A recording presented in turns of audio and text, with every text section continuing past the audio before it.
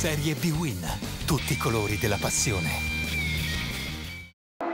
Sfida che sa di playoff allo stadio Bentegodi per la diciassettesima giornata in Serie B-Win. Verona e Regina insieme al Padova dividono il quarto posto in classifica. Gli scaligeri di mister Mandorlini sono lanciatissimi, reduci da 5 vittorie consecutive, ma anche gli Amaranto Calabresi sono in un buon momento, una sola sconfitta nelle ultime 9 giornate. C'è il minuto di silenzio per ricordare le vittime del recente alluvione di Messina e poi si parte agli ordini dell'arbitro Pinzani di Empoli. Subito il Verona in avanti con questa iniziativa di Alfredson sulla fascia di sinistra, il cross dell'islandese mancato di un soffio da Pickelman al centro dell'area avversaria, l'austriaco sostituisce in attacco lo squalificato Ferrari, ancora Ellas, ancora Alfredson, palla all'indietro per Quarito Gomez, il sinistro, quasi a botta sicura, si mola Antonio Marino per sventare la minaccia, angolo di eh, Giorginio, palla sul secondo paro, respinge Adejo, la botta di Taxidis, eh, respinta da una difesa della regina in difficoltà, di nuovo Giorginio, il eh, cross svetta Maietta, ma il pallone è debole, facilmente parato da Pietro Marino,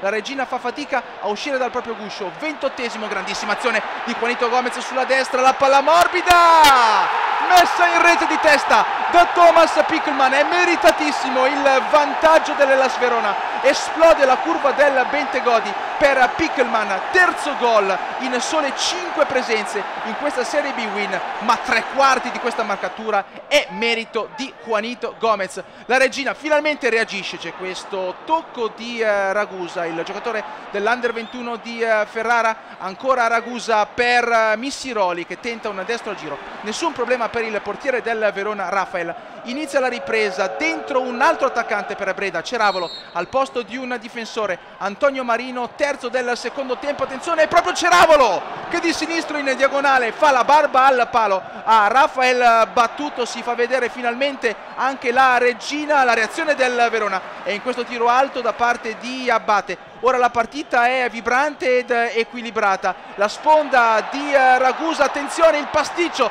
tra Mareco e Rafael, non ne approfitta Ceravolo con il portiere brasiliano dell'Ellas che rimedia al possibile disastro. Ora la regina è meno timida, attenzione il destro di Bonazzoli, a lato non di molto, prova a pareggiare la squadra di Breda, c'è tensione nello sguardo anche di Mandorlini. Verona con questo cross dalla destra, Pickelman svetta sopra la testa di Adejo ma manda il pallone alto, altro angolo di uh, Giorginio, la palla passa, Taxidis, sinistro sul fondo, le occasioni da una parte e dall'altra fioccano, torna in campo dopo l'infortunio Campagnacci per la regina, fuori uh, Ragusa, contropiede per l'Ellas, Alfredson per Juanito Gomez, a destra Russo ha spazio per tirare, ma il centrocampista numero 8 del Verona spreca tutto così. Doppio cambio per Mandorlini dentro Doninelli ed Alessandro, fuori Giorginio e il match winner per ora Thomas Pickelman. Doppio scambio tra Bonazzoli e Missiroli, quest'ultimo tenta il tocco di destro che però non trova lo specchio della porta veronese. Siamo negli ultimi minuti, Campagnacci dentro per il neoentrato Sarno,